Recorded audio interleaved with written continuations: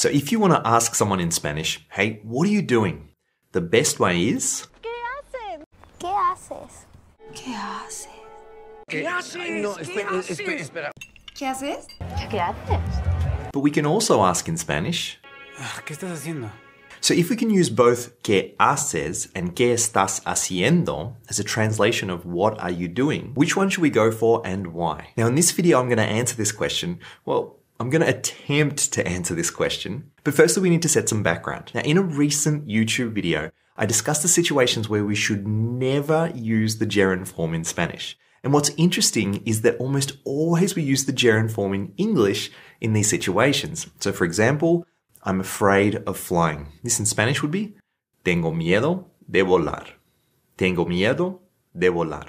Literally, I'm afraid of to fly. Now I'll leave a link to the video here and in the description below. Now the useful thing about that video is that the rules are very clear cut. We cannot use the gerund form in those situations, period. But after watching it, a lot of students have asked, well, Andrew, when should we use the gerund form in Spanish? Well, in contrast, this question is not clear cut. In fact, I've been resisting making this video because it's not about right and wrong. It's about more common and less common patterns in Spanish. Now, in our level two course, El Cuenta Cuentos, we spend two hours on this question. What are the common patterns?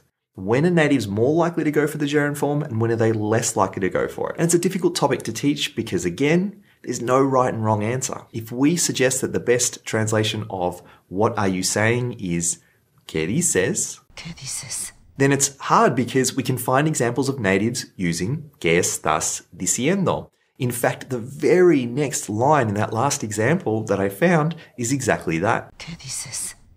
¿Qué estás diciendo, Paulina? Now, if English is your first language, one of the most important things I can teach you about this topic is how your English brain will influence your decision making when you want to speak Spanish. So, in English, what do you do and what are you doing are very different questions. What do you do is really asking about profession, and what are you doing is asking about the thing you are doing right now. Now, these translated into Spanish are en qué trabajas and qué haces or qué estás haciendo. And as an English native, you'll be tempted to go for this one because it looks like this, and you want to avoid this one because it looks like this. Similarly, what do you say and what are you saying are again very different questions in English, where what do you say is kind of asking for opinion, and what are you saying is asking about what is coming out of the person's mouth at that moment. Now, we could translate these into Spanish as ¿Qué opinas? or ¿Qué te parece? and then ¿Qué dices? or ¿Qué estás diciendo? Where again, the temptation is to match these and avoid this option because it looks like this. So how do we decide between ¿Qué haces? Or qué estás haciendo, and qué dices, and qué estás diciendo. Well, the first thing that I want you to keep in mind based on what I just showed you is that you're probably going to have a preference for the gerund if English is your first language. And Spanish natives are generally going to have a preference for the simple present form. And so if you want your Spanish to sound more natural, in general, it's going to be better to go for the simple present tense form. ¿Qué haces? ¿Qué dices? But in addition, we have three tools available to us for helping in the decision making process. Now, firstly, again, referencing our level two course, we introduce a banned list. This is a list of verbs in Spanish that rarely occur in the gerund form. It doesn't mean never, just means rarely. Now, hacer and decir are not on this list because they do occur in gerund form from time to time. But a good example of a verb on the list is querer, to want. Now, while it is possible to say I'm wanting, estoy queriendo, this phrase is really rare in Spanish, and so this verb appears on our banned list. Now, another tool we have available to us is emphasis.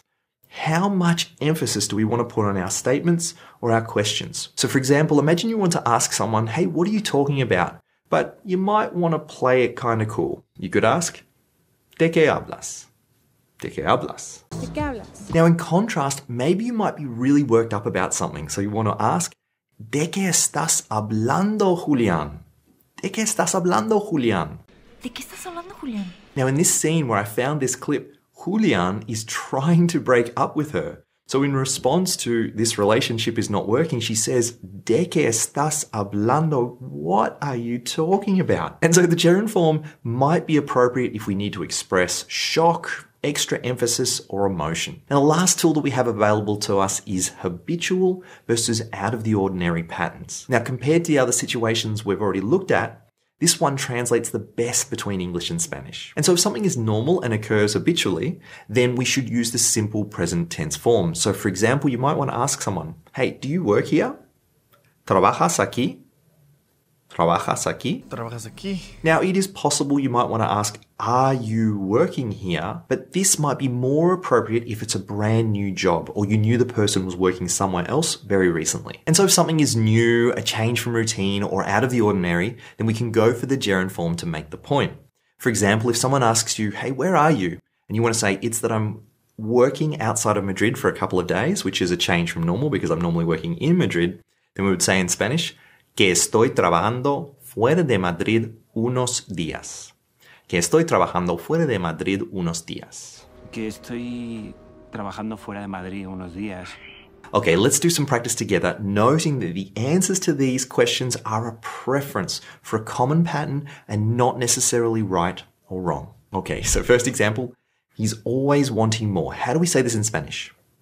Siempre quiere más. Siempre quiere más noting that siempre está queriendo más is possible but very rare. This week I'm studying a new topic. How do we say this in Spanish? Esta semana estoy estudiando un tema nuevo. Esta semana estoy estudiando un tema nuevo. Hey, what are you eating? ¿Qué comes? ¿Qué comes?